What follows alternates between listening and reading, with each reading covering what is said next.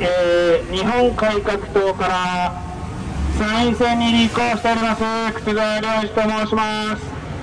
政見放送の収録では誠に NHK さんにはお世話になりました。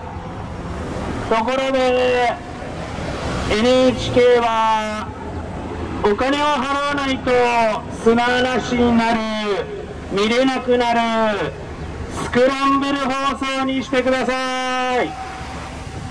そうすれば迷惑集金人が夜夜中に訪れて一人暮らしの女性や一人暮らしの高齢者を怖がらせることがなくなります、えー、スクランブル放送にしてですね災害の時だけ解除すればいいのであります。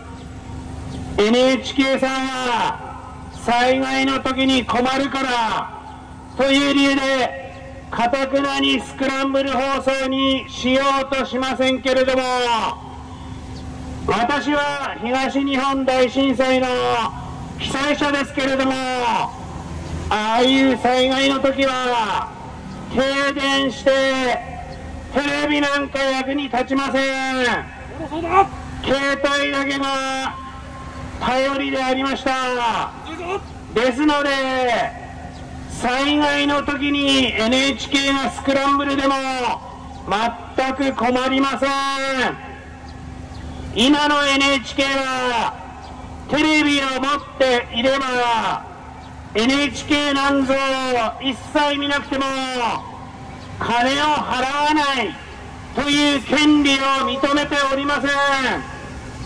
NHK なんか見ないから金を払わない。こういう権利を認めろ。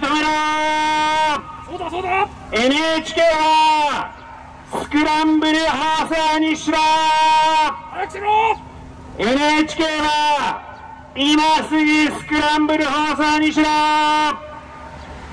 払いたくない人から金を取るな。NHK がどんな嘘放送してもスクランブルにしてくれればいいんですよ。契約しないだけですから。